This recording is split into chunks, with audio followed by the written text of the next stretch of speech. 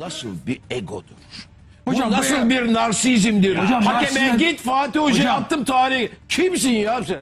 Benim yanımda ceketinin düğmesini açamayanlar bakıyorum hepsi bayağı bir baba yiğit olmuşlar. Benim yanımda ağzını açamayanlar, düğmesini açamayanlar.